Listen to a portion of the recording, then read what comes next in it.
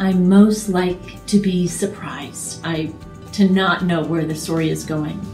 The sound of the key turning in the lock when my wife or, or one of my kids comes home.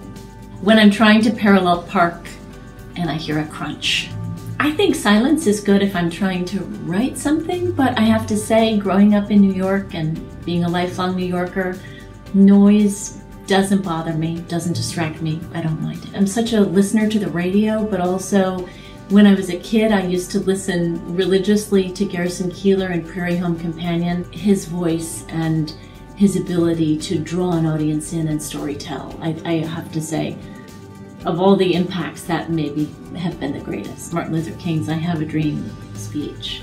Certainly, the part that we always hear excerpted is incredible, but to listen to it in its entirety is just completely captivating, completely emotional, but also completely, it continues to open my mind every time I hear it. To feel like the, the author's nudging me too hard to convince me and to get me to think what he or she thinks. I love description, I love witty dialogue, I love plot twists, but the thing that I respond to in a book or in a play or in a movie is the characters. I do like the sound of my voice. I think there's a lot of life in it, and I think there's a lot of um, reaching out to the listener.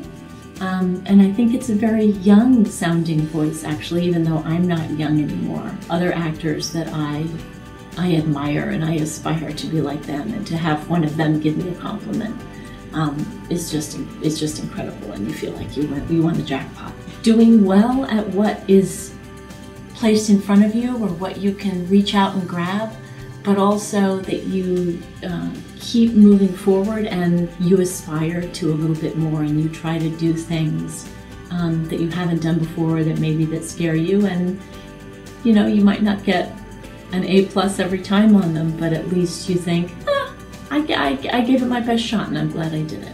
The balance that I have between my personal life and my professional life.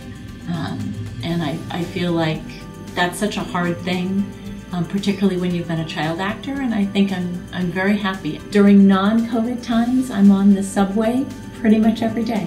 A great meal whether it's a home cooked meal or a, a meal out, and it would definitely involve um, a night or an afternoon at the theater seeing a play or seeing a musical.